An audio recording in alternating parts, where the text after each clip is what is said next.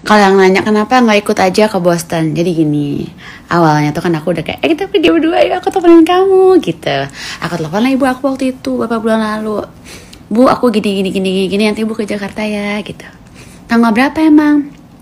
Tanggal sekian gitu. Loh itu kan lebaran.